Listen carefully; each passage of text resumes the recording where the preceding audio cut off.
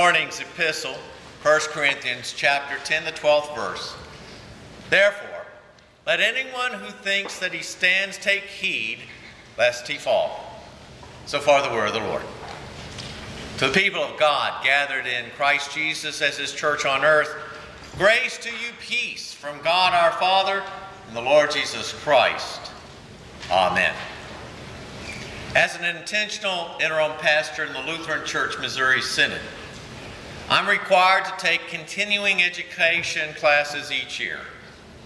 And additionally, I'm also expected to participate in an annual conference as well as keep in close contact with the district president in the area which I am serving. So, starting tomorrow and running through Wednesday, I'll be out at Bethel studying Luther's care for the soul. And not only do I have to do all of this, but I have to receive all my continuing education credits and certificates of participation. And every three years, I have to turn them all in to the Interim Ministry Conference of the Lutheran Church Missouri Synod for recertification. If I don't, I'm no longer certified for service by the Council of Presidents as an interim pastor in Synod. But you know what, personally, I've been keeping up with continuing education even without this requirement. Because I personally believe pastors should continue to learn and grow and mature in their calling. I mean, stop and think about it. Most professionals and skilled practitioners have to have some type of ongoing education or, or training to be accredited in their field. No one should ever think of themselves knowing everything there is to know in life, right? I mean, there are new discoveries every day. There's a benefit in reviewing the knowledge and the practices that can keep one mentally and physically sharp. I mean, after all, would you go to a certified public accountant who has not kept up with all the changes in the tax codes for the past 20 years? I wouldn't. Or to a doctor who hasn't learned the newest procedures or about the newest medications? Or a lawyer who hasn't cracked a book since law school. No, you want a person who knows their stuff, who continues to sharpen their skills and their knowledge, right? Well, that's part of what Paul is getting at this morning when he's addressing the Corinthians.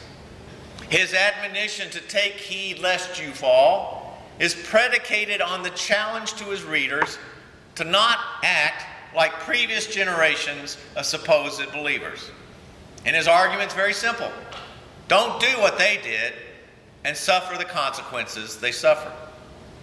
So if you have your Bibles with you, I invite you to turn 1 Corinthians chapter 10. Now once again, our chosen epistle reading is taken out of its fuller context, which would help us better understand where Paul is coming from. So I'm going to invite you to join me beginning at verse 1 and following.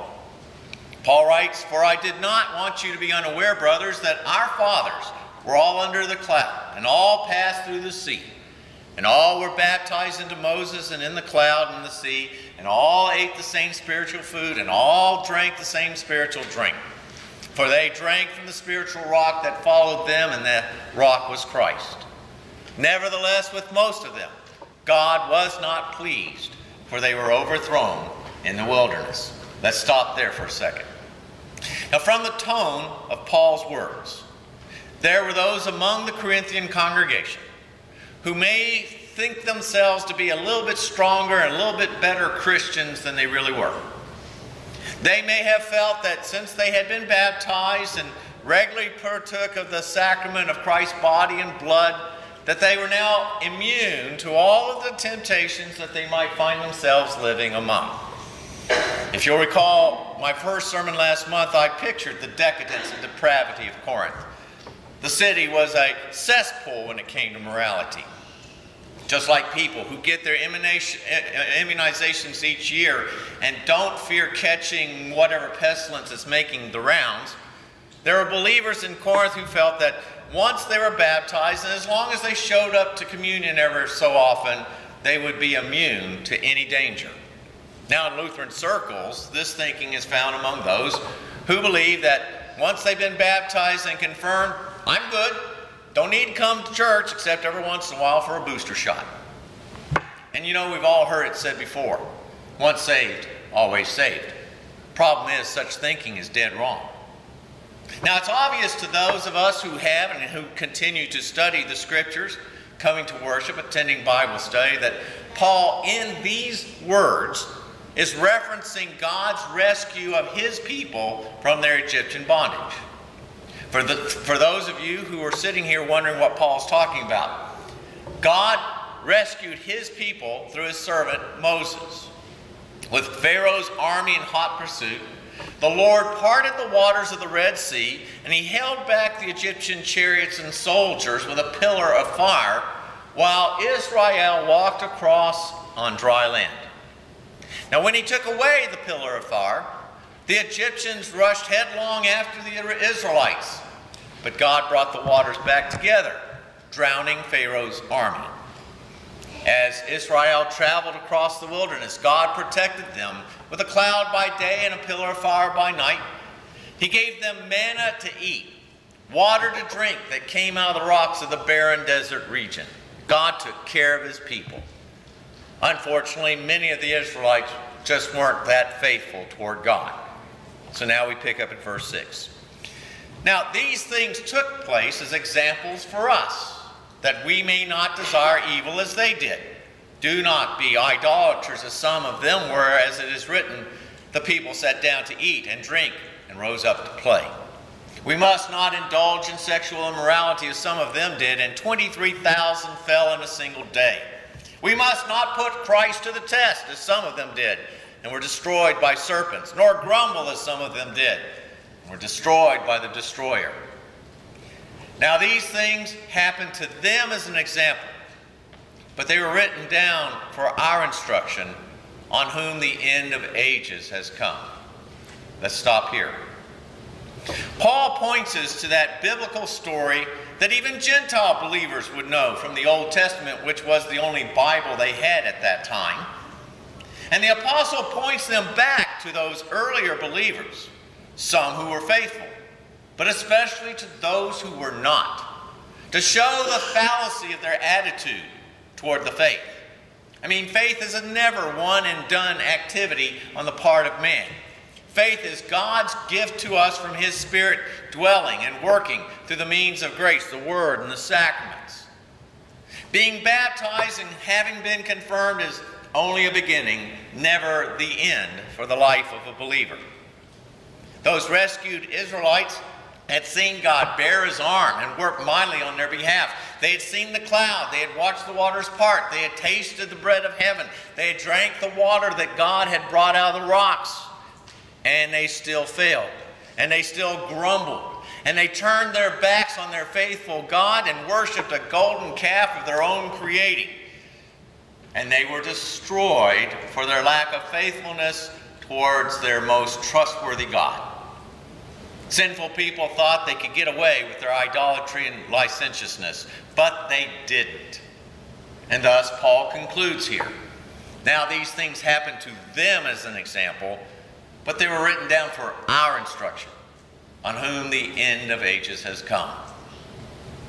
The very same God who rescued his people from their oppressors, who gave them a new land and a new life, is just as real and loving and faithful to us today. Just as Yahweh sent his servant Moses to lead his people to safety, so God the Father sent God the Son Jesus to lead us out from under the oppression of sin, death, and hell through his sacrifice upon the cross. Just as he provided them escape through the parted Red Sea, he now gives us escape from the clutches of the devil, the world, and our own sinful flesh through the waters of baptism.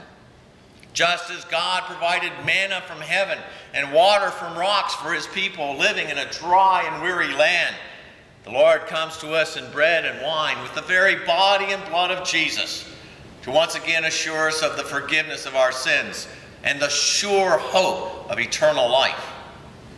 All that God did for them, he does for us through that spiritual rock who is Christ knowing God's grace and mercy while living in a world of decadence and debauchery. What do we need to be mindful of? Well, Paul closes our reading with this Therefore, let anyone who thinks that he stands take heed lest he fall. No temptation has overtaken you that is not common to man. God is faithful, and he will not let you be tempted beyond your ability, but with the temptation, he will also provide the way of escape so that you may be able to endure it. It's difficult at times to match up to the lifestyle that God wants us to live with all these ceremonies and rituals that we make a part of our lives. I can recall parents coming up and thanking me after their child's confirmation. Well, at least they got their ticket punched. Well, those parents relaxed their faithfulness way too soon. Still ahead for those young people were the pressures to make materialism their God to treat sex as nothing more than an appetite to be satisfied in any way they wanted, the temptation to create their own dream world through drugs and alcohol, and a whole host of temptations that still exist in the world. So I always reminded such parents that all we had done in the confirmation process was lay a foundation that their kids would now have to build on. Paul's concern for his readers is that they need to be careful not to set themselves up for a great fall. He gives us great advice on how to build up our faith foundations. First of all, we need to be realistic about the things that we face on this side of heaven and our ability to resist them. We need to be honest with ourselves that there are a lot of things going on around us that we simply cannot handle all on our own. I mean, even Paul recognized this when he said at the end of the previous chapter, chapter 9, But I discipline my body and keep it under control, lest after preaching to others, I myself should be disqualified. Secondly, Paul tells his readers not to feel exempt from trials because they've checked off all the boxes of a ritualized Christianity. He says, No temptation has overtaken you that is not common to man. I mean, everything you face in life is the same as those who came before, as well as those who live with you today. We all have our problems. We all have our burdens to bear. Pain, suffering, misery are all a part of our lives. You're not being punished for some unconfessed transgression. Life on this side of heaven is simply stained and ruined because of sin. But you're not alone in this. That's because, lastly, we have an assurance upon which we can depend. God is faithful. And he will not let you be tempted beyond your ability, but with the temptation, he will also provide the way of escape that you may be able to endure it. God knows us. He knows our strengths, he knows our weaknesses. But he does not leave us to deal with life on our own. No, he comes to us in the means of grace to remind us that we are his and that he takes care of his own. He comes to his church and he calls upon us to gather together and to grow together and then to go out into the community with all the hope and the peace that is ours through Jesus our Savior. So may we continue to gather, to grow, and to go together with a faith that is focused on Jesus. And all God's people said, Amen. And now may the peace of God that passes all understanding keep your hearts and minds in Christ Jesus. Amen. We rise.